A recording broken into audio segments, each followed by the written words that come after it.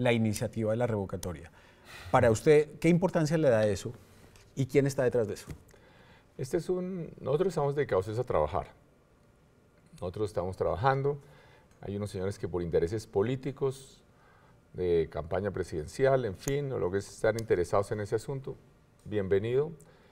Los ciudadanos tendrán que escoger qué tipo de líderes quieren. La verdad, yo no soy muy bueno para hablar bonito, pero nosotros producimos resultados. Estamos produciendo resultados, avanzando con el metro, mejorando de manera concreta la seguridad, poniéndole orden a las finanzas de la ciudad.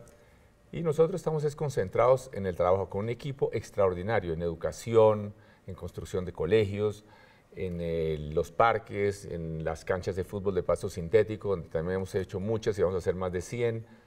En eso sí que estamos nosotros. La verdad, el tema de la revocatoria, bienvenido. Eh, como colombiano a mí me parece un poco triste, porque si llegara a darse una votación de esas, eso cuesta más de 60 mil millones de pesos solo esa elección. Con eso podríamos hacer 60 canchas de fútbol de paso sintético iluminadas.